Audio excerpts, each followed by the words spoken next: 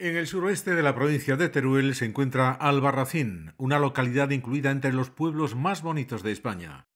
Quédate hasta el final porque te la mostraremos y te diremos dónde comer y alojarte en esta ciudad aragonesa. Situada en la sierra que lleva su nombre, el topónimo de Albarracín procede de los Banu Racín, una familia bereber. Es monumento nacional desde 1961 y el epicentro de una comarca de gran riqueza natural en la que hay vestigios prehistóricos, celtíberos, romanos y árabes. El núcleo urbano que se gestó a comienzos del siglo XI es una red de pequeñas calles que suben y bajan flanqueadas por casas que son clara muestra de arquitectura popular, con entramados de madera y tabiques de yeso rojizo que le otorgan una imagen muy peculiar. En ellas hay muestras de escudos heráldicos, como el de los Navarro de Arzuriaga, de los pobladores procedentes de otras zonas de la península que decidieron instalarse aquí aprovechando las ventajas que se les otorgaba a fin de repoblar la villa. Desde lo alto preside el entorno su castillo o alcazaba, cuyo origen está en lo que fue una medina del siglo X. La ciudadela, unida a las torres de la Muela y el Andador, constituía el núcleo defensivo de la ciudad. Albarracín exige dejarse llevar por sus callejuelas, combinación de escalinatas, pasadizos y mansiones, con balcones y ventanas a veces tan próximos que parece que los vecinos pudieran darse la mano desde una casa a la de enfrente. En la Plaza Mayor está el Ayuntamiento, antigua Casa del Consejo, que también fue cárcel. Alberga el Archivo Histórico Municipal. La plaza ocupa el espacio de un antiguo foso natural de la muralla y además de lugar de reuniones, recinto de espectáculos musicales y taurinos en las fiestas patronales que se celebran en septiembre. El portal del agua es una de las puertas de la muralla de la que se conserva el arco y una torre adosada. A través de esta salida se descendía al río por el lado sur. Muy cerca, un mirador permite una buena vista del castillo y la catedral. El Palacio Episcopal es actualmente sede de la Fundación Santa María de Albarracín y en él se realizan cursos y congresos. Está anexo a la catedral, levantada en el siglo XIII sobre una mezquita y reconstruida en el siglo XVI. Incluye diversas capillas familiares de los apellidos más importantes de la localidad. El interior se puede ver en horarios de misa o pagando una visita guiada. Otras iglesias de Albarracín son la de Santiago, también edificada sobre una mezquita y vinculada a la orden religiosa y militar de Santiago, y la de Santa María del siglo XVI y con elementos góticos y mudéjares. Se mire desde donde se mire se advierte lo pintoresco del núcleo urbano, destacando las casas colgadas con sus balconadas de madera. El casco antiguo está cerrado al tráfico, excepto para residentes, aunque la estrechez de las calles desanimaría de por sí al uso del coche. En la parte baja y al otro lado del río se sitúa el barrio del Arrabal. La localidad está enclavada en las faldas de una montaña y rodeada por el río Guadalaviar.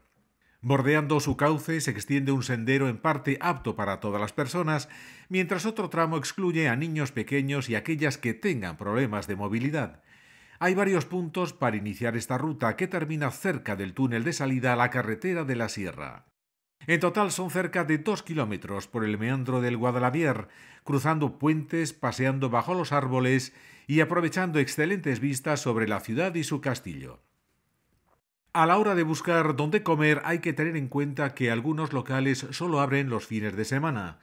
Nosotros te recomendamos el Rincón del Chorro, un excelente restaurante con personal profesional y muy amable y una completa y original carta.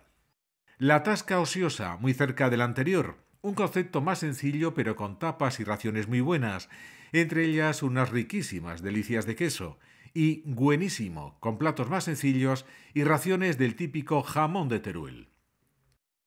Para alojarse, una buena opción es el Hotel Doña Blanca en la zona del Arrabal, muy cerca del centro y con aparcamiento propio, lo cual en este pueblo es todo un lujo. En la descripción del vídeo te dejamos todos estos datos. En la sierra te aconsejamos antes que visitar los pueblos que por mucho que te digan no tienen gran interés, admirar la preciosa naturaleza, especialmente el Pinar de Rodeno.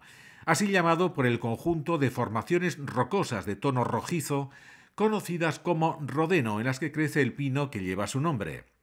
Este es un lugar que no debes perderte por su belleza, lo espectacular de las moles de roca, los tupidos pinares y el impresionante silencio. Hay muchas rutas de senderismo para realizar, desde las más cortas de poco más de un kilómetro hasta otras que requieren algunas horas caminando.